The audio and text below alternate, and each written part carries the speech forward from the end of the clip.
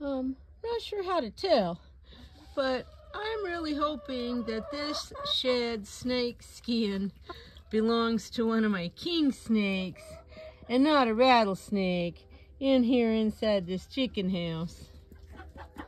Alrighty, I pulled that shed snake skin out out of the hole in the wall the rest of the way and I can see the definite light and dark stripes.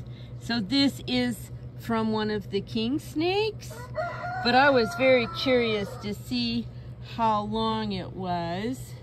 So also the tail is very long and thin with a pointy tip.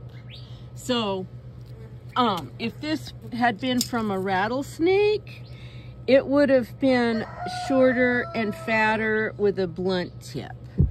So if all you see is the tail, and even if there's no rattles, if it's got a blunt tip tail, it's usually a, a rattlesnake or some other venomous snake. But uh, let's see how long this baby is.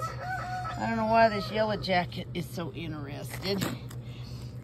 I, I tried to pull the chicken feathers off of it, but they're kind of stuck and I don't want to tear it. And I have a friend that, a couple of friends that do a lot of snakes. And um, I'll probably see if somebody wants this just for a curiosity. So this is measuring about 45 inches, but I'm gonna guess that if it wasn't twisted there, and it's kind of stuck together, so I can't really untwist it without um, damaging it.